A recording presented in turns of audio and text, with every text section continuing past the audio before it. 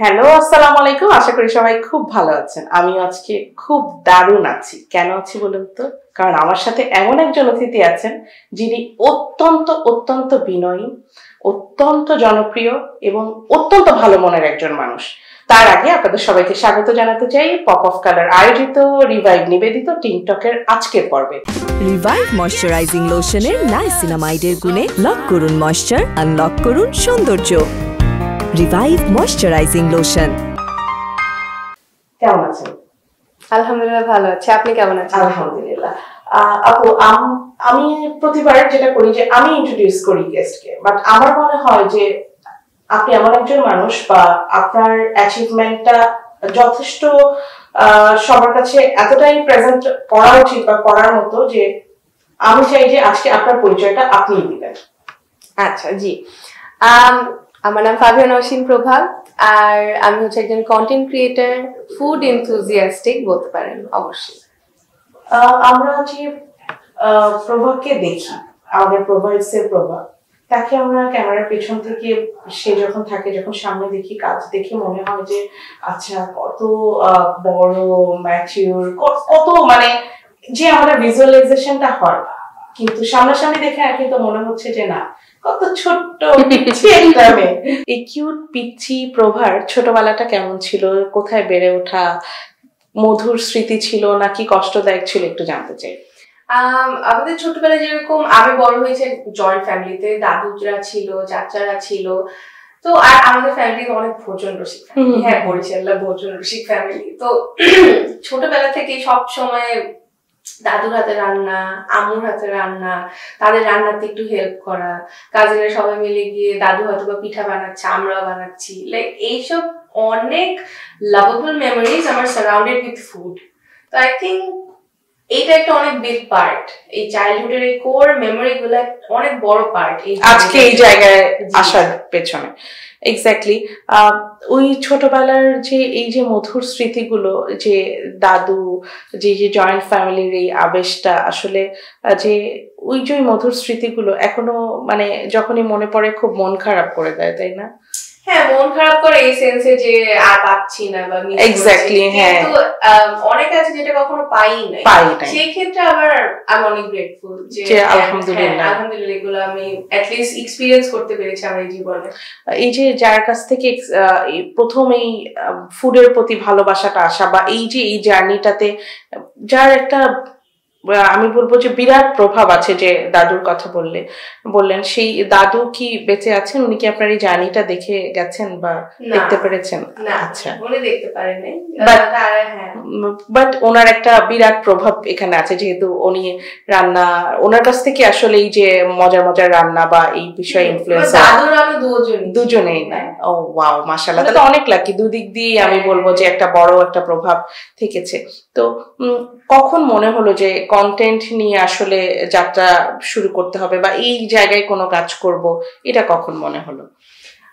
এটা আসলে না কোনো কিছু প্রি প্ল্যান ছিল না যে হ্যাঁ এরকম হবে বা সামথিং আমরা যখন স্টার্ট করি we were the very first one like আমি আই থিঙ্ক এটা স্টার্ট করি টু এর শেষের দিকে। তখন এগুলো কিছু এক্সিস্ট করতো।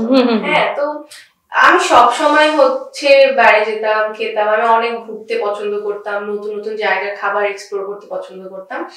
তো খেতাম আমি নর্মাল আমার সোশ্যাল মিডিয়াতে আমার পার্সোনাল যেটা ছিল ওখানে আমি এমনি শেয়ার করতাম পিকচার্স তো দেখি যে মানুষজন হচ্ছে আস্তে আস্তে লাইক অনেক নোটিস করতেছে যে আচ্ছা ও অনেক জায়গায় যায়। তো they start asking me recommendation যে আচ্ছা প্রভা বলো তো ওখানে গেলে কি অর্ডার করব? বা এটা খেতে ইচ্ছা করতেছে কোথায় যাব?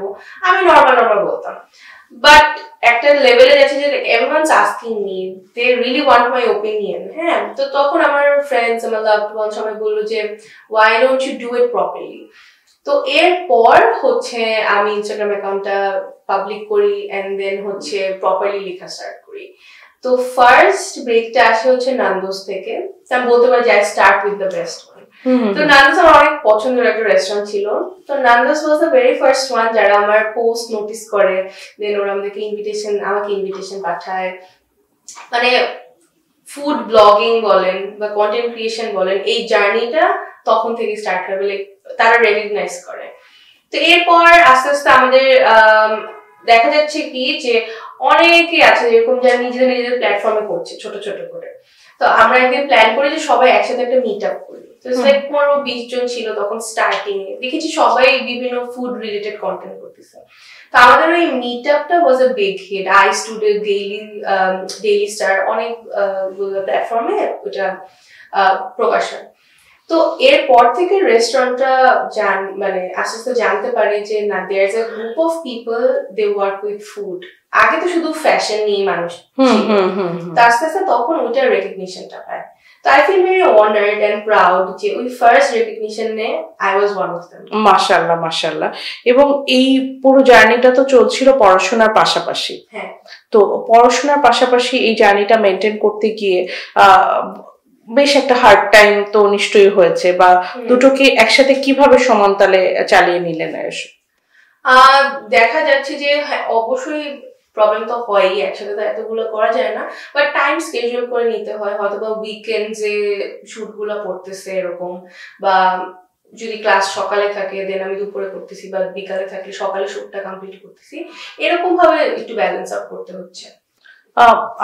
কি মনে হয় যে, একজন কন্টেন্ট ক্রিয়েটারের তিনি হোক ফুড নিয়ে কাজ করুক বা ফ্যাশন নিয়ে করুক বা লাইফ স্টাইল যেটা নিয়ে করুক, তো পড়াশোনাটা কতটুকু দরকার? বা নাকি জনপ্রিয় হয়ে গেলে বা হচ্ছে গিয়ে পড়াশোনাটা অতটা দরকার নেই? কি মনে হয় আসলে? আমি বলব কন্টেন্ট ক্রিয়েশন হোক আর যেই প্রফেশনই হোক। স্টাডিজটা আগে। স্টাডিজটা ম্যান্ডেটরি এটা কোনো অপশনাল না। না এখন যেমন ওই যে সোশ্যাল মিডিয়াতে আমরা একটা রীতিমতো একটা ঝড়ের মতোই চলছে যে কন্টেন্ট ক্রিয়েশন করো পড়াশোনার দরকার নেই। এটা আসলে এটা দিয়ে অনেক টাকা ইনকাম করা যায়। সো এটা এটার সাথে আমি ব্যক্তিগতভাবে একমত নই। তো এটা আমি আমিও না। আসলে দেখা যাচ্ছে কি হ্যাঁ কন্টেন্ট ক্রিয়েশন তো অবশ্যই আপনাকে হেল্প করতেছে ফাইন্যান্সিয়ালি হোক আপনি হয়তো বা স্টেবল হতে পারছেন। কিন্তু একটা কথা ছিল লাইক ইউ নেভার নো বিপদ কখন আসে। সো পড়ালেখাটা কিন্তু ইটস কাইন্ড অফ যে এটা আমার একটা আহ, হাতিয়ার। হিন্দিতে আমি বাংলা ওয়ার্ডটা মনে আসতেছে।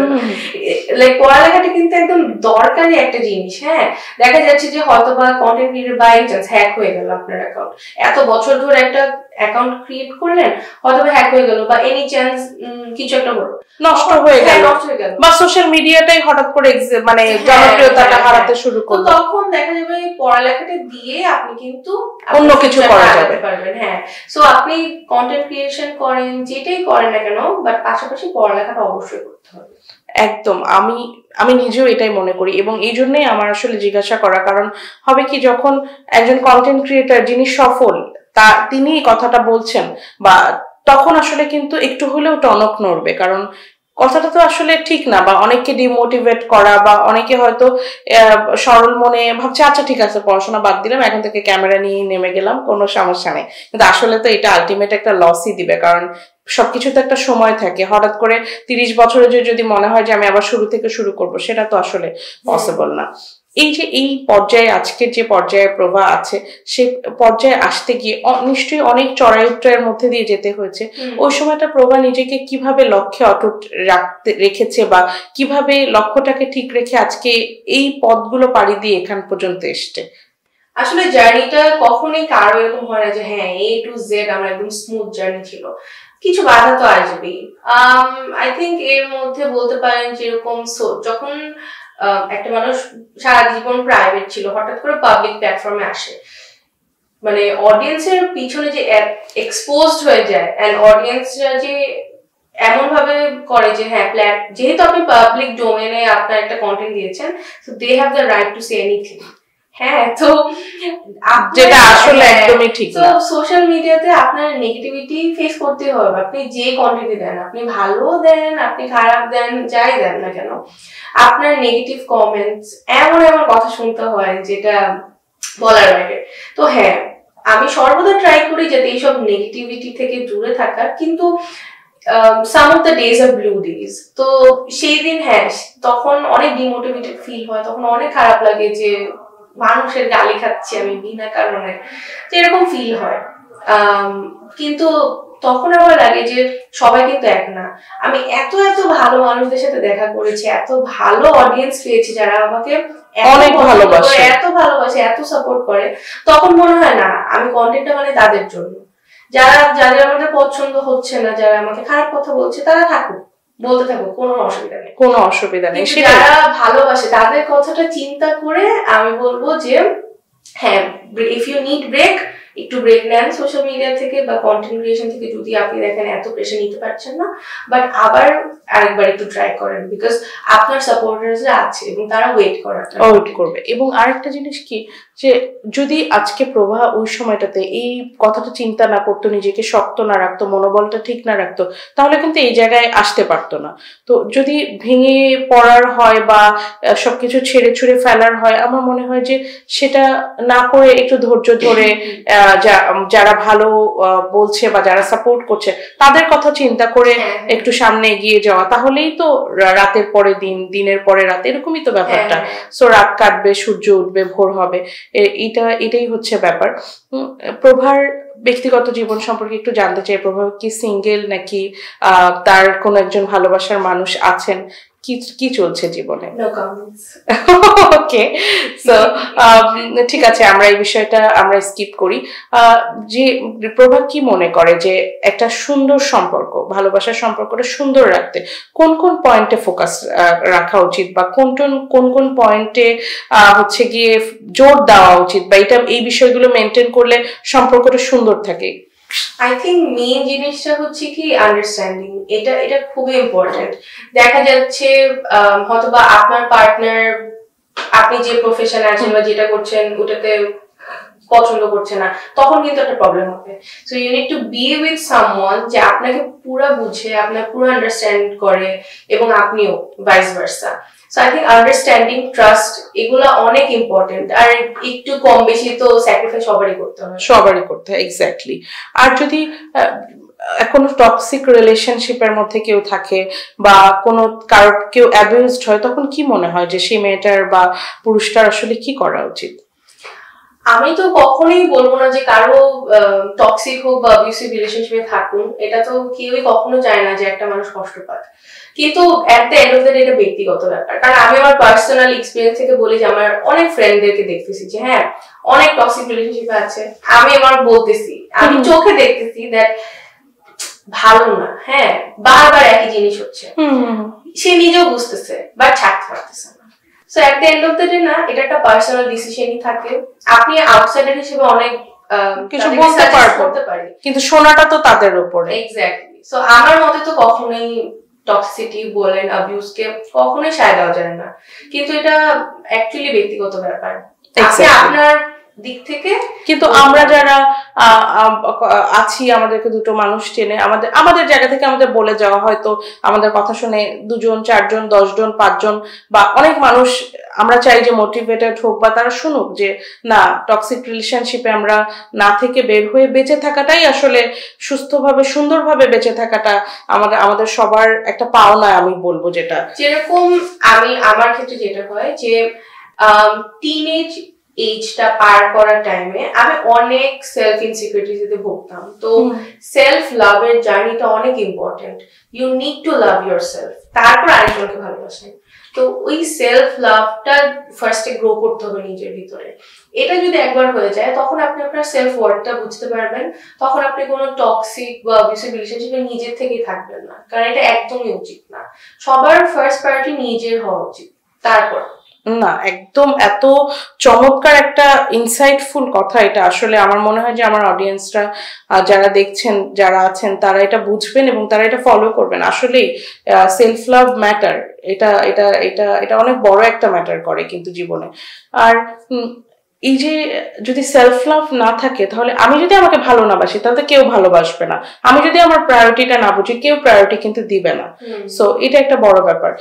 প্রভা আপনি আপনার এই কন্টেন্ট ক্রিয়েশনের জার্নিতে যারা নতুন আসতে চায় বা নতুন এসছে বা একটা ভালো কিছু করতে চায় তাদের কি সাজেশন দিবেন যে কোন কোন বিষয়গুলোতে একদম ফোকাস থাকতে হবে?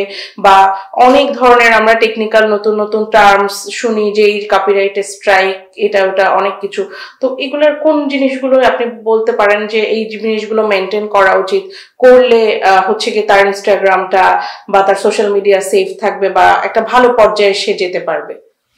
আম, এই ক্ষেত্রে বলব যে যারা নতুন স্টার্ট করতে চাচ্ছেন অবশ্যই প্রথমেই এত আশা করা যাবে না যে হ্যাঁ আমি ডে ওয়ানে গিয়ে ইনকাম করব আমি ডে ওয়ানে গিয়ে এটা চাই ওটা চাই। You have to be very patient হ্যাঁ you to be very patient আপনি আপনার কন্টেন্ট দিতে থাকেন। আম- প্রিটি শিওর যে ট্রাই করছে নাকি তার তার ট্যালেন্ট আছে। তার ট্যালেন্ট আছে, সে বানাতে পারে কন্টেন্ট এর জন্য সে ট্রাই করছে। আপনার নিজের থেকে ট্রাই করতে হবে, ধৈর্য ধরতে হবে। দেখবেন আপনাকে মানুষজন নিজের থেকে রেকগনিশন নিয়ে নিজের থেকে ডেকে নিয়ে যাচ্ছে।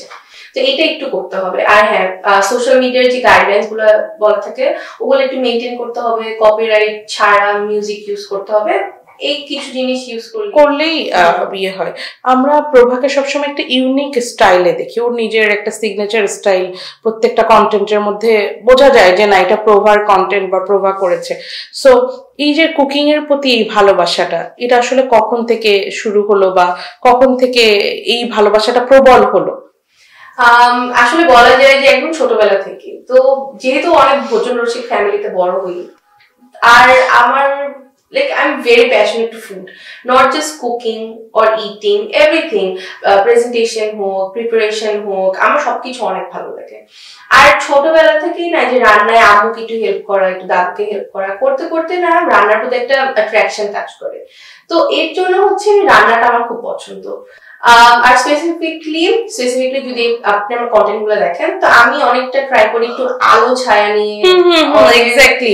ইউনিক একটা সিগনেচার স্টাইল আমি হ্যাঁ, আলো ছায়া নিয়ে আমি একটু কন্টেন্টগুলো বানানোর ট্রাই করি যে একটু শ্যাডো আসতেছে একটু মোদ রোদ আসতেছে একটু অ্যাস্থেটিক কাট দিয়ে। এটা আমার খুব পছন্দ। ইচ্ছা আছে যে রান্নার এটাকে আরও আগে নেওয়ার, এটাকে, এটার উপর ফোকাস করার আরও, কারণ রান্না করা আমার খুব পছন্দ। আমরা তো প্রভাকে ডাবের অ্যাম্বাসেডর হিসেবে দেখেছি বা আরও অনেক ধরনের অ্যাচিভমেন্ট আসলে প্রভার ঝুলিতে আছে। তো ফ্যাশনেও তো হচ্ছে গিয়ে চমৎকার কাজ করার সুযোগ ছিল বা আছে এখনও। তো কুকিংটাই বেছে নেওয়া কেন? এমন না যে আমি ফ্যাশন করি না করি মাঝে মধ্যে। Specifically lifestyle. করা হয় যেরকম হোম ডেকোর বলেন মাঝে মধ্যে কিছু ফ্যাশনও করা হয় তো মোটামুটি করা হয় কিন্তু আমার বললাম না যে খাবারের প্রতি যে ফ্যাশন মানে প্যাশনটা আমার ফুডের প্রতি যে প্যাশনটা কাজ করে ওই জিনিসটা আমার অনেক ভালো লাগে মানে বলেন মি টাইম তো আমার জন্য মি টাইম কোনটা? যে হ্যাঁ আমি দিন শেষে আমি একটা আমার কমফর্ট ফুড রান্না করতেছি নেটফ্লিক্স দেখতেছি, খাচ্ছি, এটা আমার জন্য অনেক মানে রান্না করলে আই ফিল রিল্যাক্স ওয়াও জোস।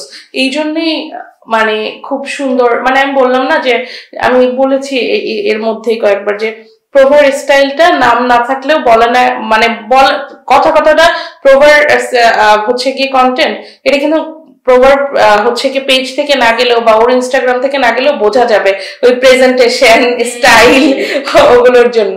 সো এই যে কুকিং নিয়ে কাজ করতে যাওয়া বা এই কুকিং নিয়ে হচ্ছে ক্যারিয়ারটাকে ডেভেলপ করা, এখানে কি মনে হয়েছে যে, কখনো কি মনে হয়েছে যে এটা খুব ডিফিকাল্ট হয়ে যাচ্ছে বা খুব আমি হয়তো পারছি না বা পারব না বাচ্চা ছেড়ে দিব, এরকম কি কখনো মনে হয়েছে? ডিফিকাল্ট তখন হয়, যেহেতু আমি কিন্তু পুরো সোলো টিম হ্যাঁ। ইদার যদি বাইরে শুট করতে যাই তখন হয়তো বা টিম মেম্বার্স থাকে। দ্যাটটা ডিফারেন্ট কিন্তু আমি রান্না যেহেতু শুটগুলো বাসায় করি আমি রান্না করি আমি শুট করি আমি এডিট করি তখন দেখা যাচ্ছে যে একসাথে অনেক প্রেশার এসে পড়ে। তো হ্যাঁ মাঝে মধ্যে এরকম হয় যে এত ভিডিও একসাথে স্ট্যাক হয়ে গিয়েছে এতগুলো এডিট করব? তো তখন একটু প্যারা খেয়ে যেতে হ্যাঁ, হয়। বাট স্টিল মানে যখন এডিট করার পর ফাইনাল ক্লিপটা আমি দেখি আমি নিজে অনেক স্যাটিসফাইড তো তখন মনে হয় যে না, ঠিক আছে হার্ড ওয়ার্ক পেড আলহামদুলিল্লাহ আলহামদুলিল্লাহ। না আসলেই স্টাইলটা ইউনিক এবং কাজটা খুব কন্টেন্টগুলো ভালো হয়, ভালো লাগে।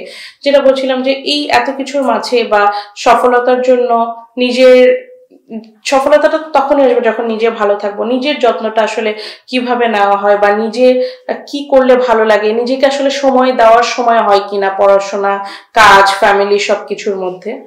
যেরকম আগে ছোট থাকতে এরকম হতো যে হ্যাঁ যেটা ইউজুয়াল স্কুল। কলেজে টাইমে হয় যাচ্ছে না বের হওয়া যাবে না এই সেই টাইমে দেখা যেত যে বের হলে আমার অনেক ভালো লাগতো। এখন এত বের হয়ে আমার বাসা অনেক ভালো লাগে। আমি বাসায় বসে যদি একটু আরাম করব মুভি দেখব একটু কিছু রান্না করলাম বা একটু কিছু অর্ডার করলাম আমি সুন্দর মতো খাব বা আমার লাভ জোয়ান যারা আছে ফ্যামিলি মেম্বার সাথে একটু টাইম কাটাবো এতে আমার অনেক ভালো লাগে। এখন আমি পুরো এরকম মনে হচ্ছে যে আমি বুড়া হয়ে গেছি। না আসলে এত কাজ হয় এত প্রেশার থাকে তো সেখানে আহ, এই নিজের প্রতি একটু যত্ন, একটু নিজের একটু মি টাইম না থাকলে আসলে তো ভালো কিছু করা সম্ভব হয় না। আমি বলব যে, প্রভু, আমরা একদম শেষের দিকে চলে এসেছি। একটু আমাদের যারা অডিয়েন্সটা আছে, বেশিরভাগ যারা নারীরা আছেন, তাদের জন্য কি বলার থাকবে প্রভার নিজের লাইফ এক্সপেরিয়েন্স থেকে বা আজকের প্রভা যে, তার যে অর্জনগুলো, সে অর্জনগুলোর জায়গা থেকে যারা নারীরা কাজ করতে চায় সবার জন্য সর্বোপরি কি বলার থাকবে? আচ্ছা। তো আমি বলতে চাই যে আপনি যেখানে আছেন হ্যাঁ আপনি যেখানে আছেন, যেখান থেকে আপনি কাজটা শুরু করতে চান, করেন। এটা ভাববেন না যে হ্যাঁ আচ্ছা এটা কি করব? ওই মানুষটা কি বলবে বা ও কি বলবে? Don't think about that just start doing it আপনি যখন একবার স্টার্ট করবেন হ্যাঁ বাধা আসবে, কিন্তু বাধাটা একটু অতিক্রম করেন, দেখবেন যে আপনার রাস্তাটা কত ক্লিয়ার আর আপনি ক্লিয়ারলি আপনি আপনার সাকসেসটা দেখতে পারবেন। সো আই উইল সে যে স্টার্ট ডুইং ইট আজকের থেকে অ্যান্ড ডোন্ট স্টপ চেষ্টা করতে থাকেন। হয়ে যাবে। Thank you so much Prabha এই কথাটা আসলে কত সুন্দর ছিল এবং কত মেয়ে যে এটা দিয়ে মোটিভেট হবে সেটা উম, সত্যিই তুমি মানে এখনও তুমি গেস করতে পারছ না। যদিও উম, আমরা পোস্ট শোতে আপনি আপনি ছিলেন বাট আমার কাছে ছোট্ট বোনের মতো খুবই কিউট খুবই সুইট আসলে জানি না আহ, আমরা সোশ্যাল মিডিয়াতে কেমন দেখি বা ওকে একটু হয়তো দেখে একটু রাগি রাগি মনে হয়। বাট ও আসলে অনেক মিষ্টি অনেক সুইট একটা মেয়ে। থ্যাংক ইউ প্রভা এত সুন্দর করে সময় ম্যানেজ করে আসার জন্য খুব ভালো লাগল আমার কথা বলে এবং খুব মিষ্টি মিষ্টি দারুণ কিছু বিষয় আমরা জানলাম ইনসাইটফুল কথা বললাম। আশা করি আমাদের যারা দর্শক আছেন তাদের খুব ভালো লেগেছে এবং তারা খুব আনন্দিত হবেন। কেমন লাগল আপনাদের সেটা অবশ্যই আমাদের সাথে কমেন্টে জানাবেন। আর আপনাদের আহ, যে ভালো লাগা আছে সেগুলো আমাদের সাথে শেয়ার করবেন। ভালো থাকবেন। আল্লাহ হাফেজ দেখা হবে আগামী পর্বে।